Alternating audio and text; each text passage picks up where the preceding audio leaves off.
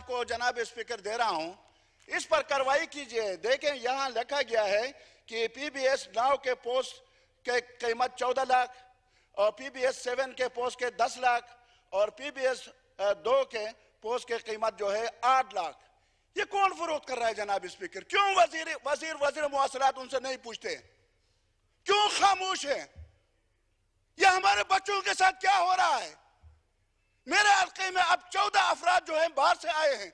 Class four शर्म आनी चाहिए। ये क्या मज़ाक है? कौन के बच्चों के साथ मज़ाक है।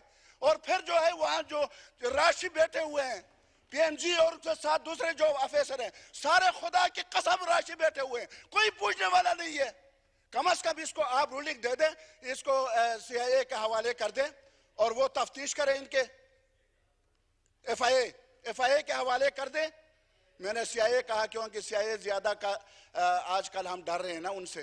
तो एफ़ एफआईए के हवाले कर दें और इस केस को वो ले लें और इनका जाँच पड़ताल करें कि इसमें कितनी रिश्वत रिश्वत के बगैर जनाब स्पीकर, मलाखंड का बंदा, पिशावर का बंदा चित्राल नहीं आ सकता।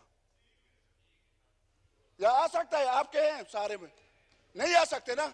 ये पीएनजी और उसके साथ तीन चार बंदे और अब जो पीएनजी का पीएनजी के पोस्ट पर जो बंदा बैठा है, आरिफ नाम है, वो दो दफ़ा जो है ना जनाब स्पीकर उसको ट्रांसफ़र कर दिया गया, फिर वहाँ बहाल कर दिया गया। ये कौन बहाल कर रहा है?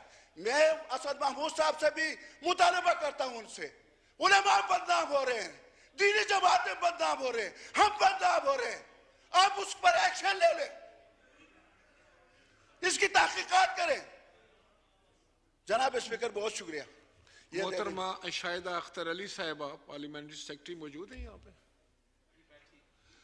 ये जो फाजिल मेंबर ने जो इशू रेज किया है इस पे मैं चाह रहा था कि आप खुद ज़रा इसकी तफ्तीश करें तहकीक करें और फिर ज़रा इनको बताएँ कि असल हकीकत क्या है जी।